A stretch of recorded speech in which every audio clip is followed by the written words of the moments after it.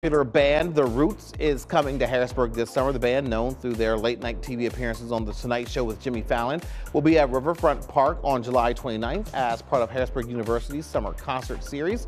Tickets go on sale Friday.